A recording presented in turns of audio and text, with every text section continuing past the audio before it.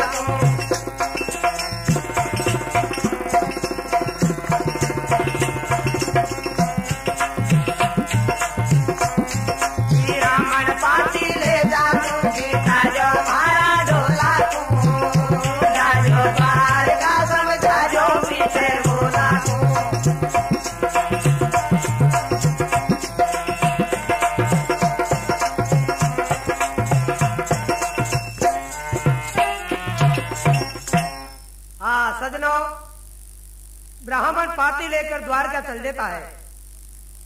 आगे क्या होता है? ब्राह्मण बुढ़ा था। रास्ते में थक जाता है। थकावट से ब्राह्मण को नींद आ जाती है। नींद आने के कारण ब्राह्मण सो जाता है। भगवान कृष्ण को मालूम पड़ता है कि मेरा भक्त रास्ते में सो रहा है। भगवान अपनी माया से उसको अधर उठा लेता है। आगे क्या होता है? नींद पुली मन की मन घबरा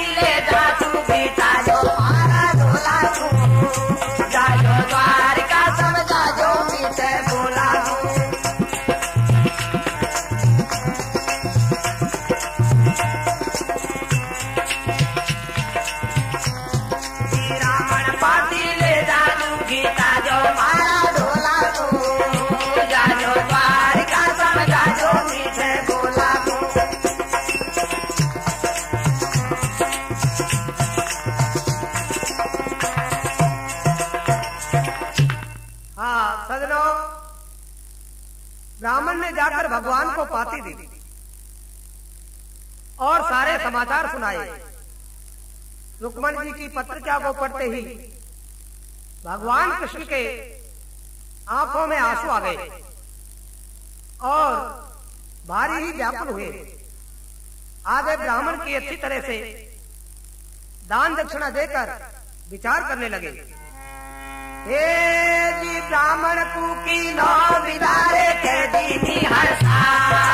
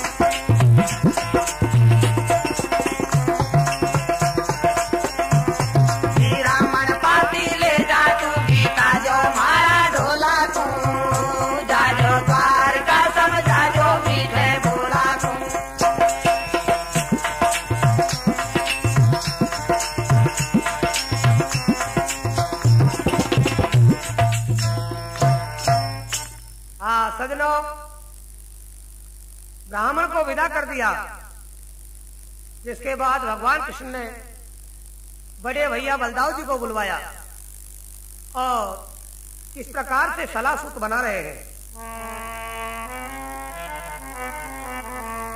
हाँ तो नंद नदन हर साय करो और दाऊ लियो बुलाए।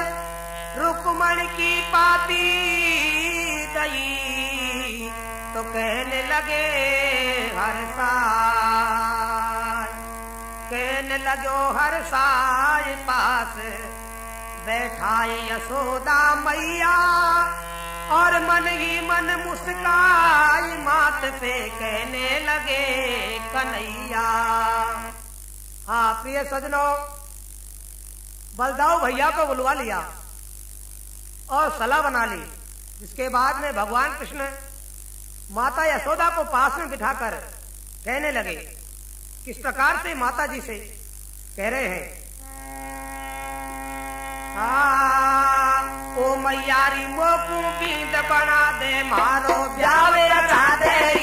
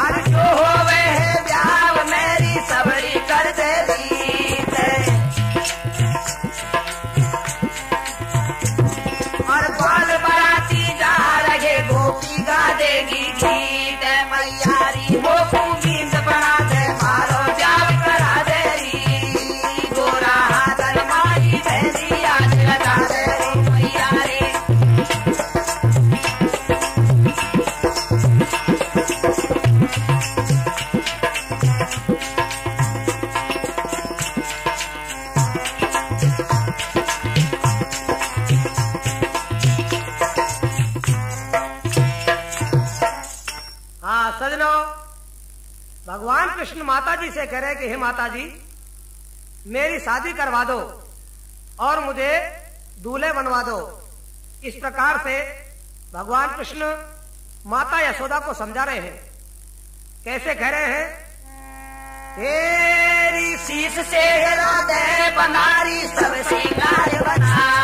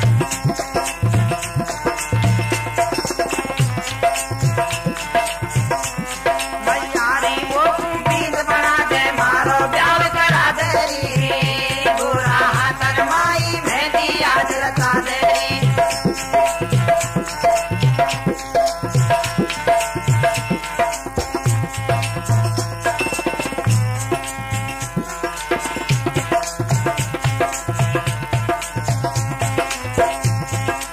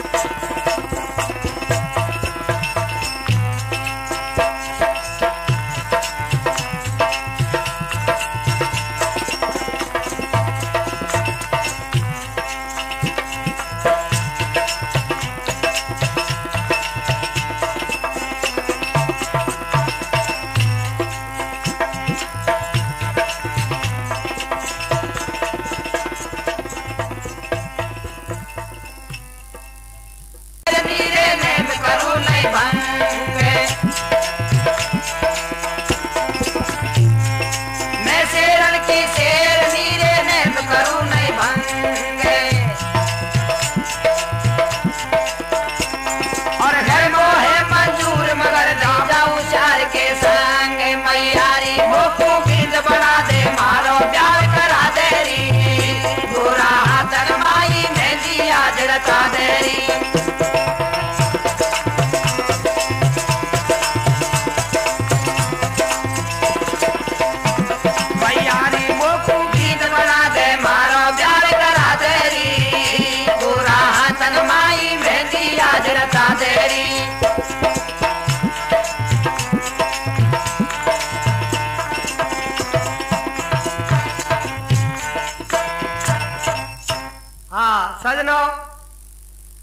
रानी रुक्मणी महल में इस प्रकार से रुद्र मचा रही है कि हे भगवान शिषपाल आ गया है और आप नहीं आए।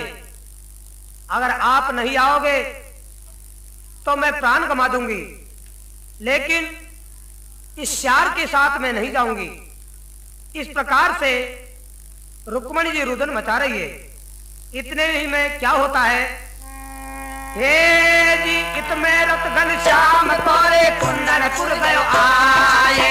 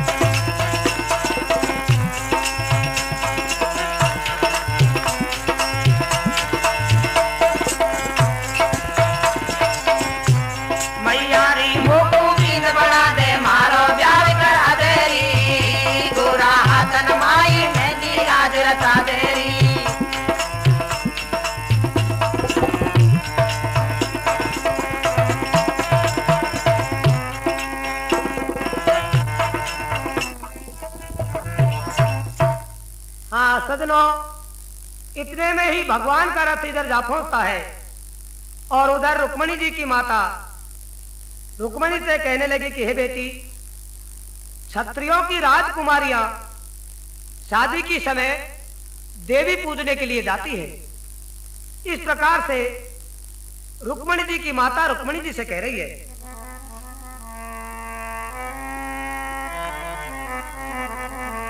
हाँ तो रुक्मणी ने या सुन लई। और श्याम पिया गयो आय। और भर मुतियन को थाल रुक्मणी देवी पूजन